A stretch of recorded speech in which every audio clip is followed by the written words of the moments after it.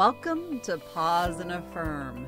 Take a moment to relax and allow these words to settle in your mind, heart, and spirit.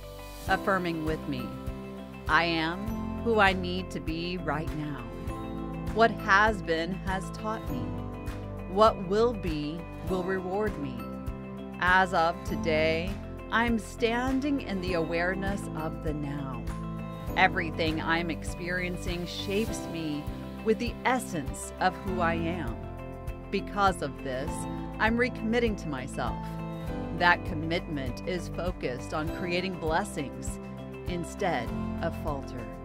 It's shifting my present thoughts into supporting my endeavors instead of any form of doubt.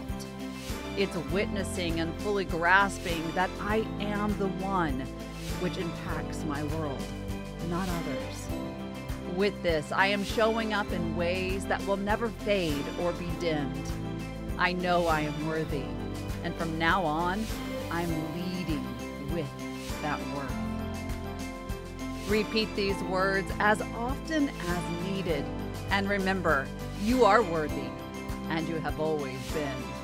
Until next time, be kind to yourself and others.